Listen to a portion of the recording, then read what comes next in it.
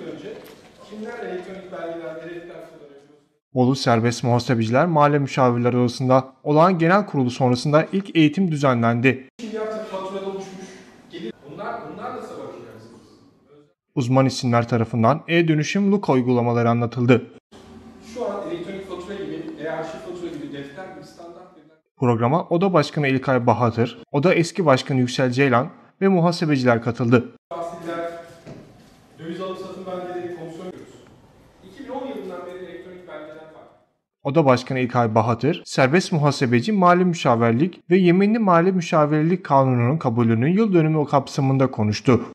1989 yılında umutla, bugün gururla, gelecekte gelişerek var olacak mesleğimizin yasal statüye kavuşmasının 33. yıl dönümü dolayısıyla mesleğin bugünlere gelmesinde emeği geçenlere canı gönülden teşekkür ederiz. Bahatır, eğitime ilişkinde bilgi verdi. Bugün el ve Luka uygulamaları başlıklı ilk eğitimimizde karşınızdayız.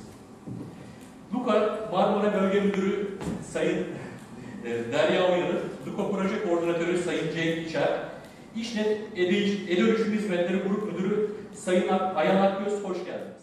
Programda Oda Başkanı Bahatır tarafından Oda Eski Başkanı Ceylan'a verdiği hizmetlerden ve sunduğu katkılardan dolayı teşekkür plaketi verildi.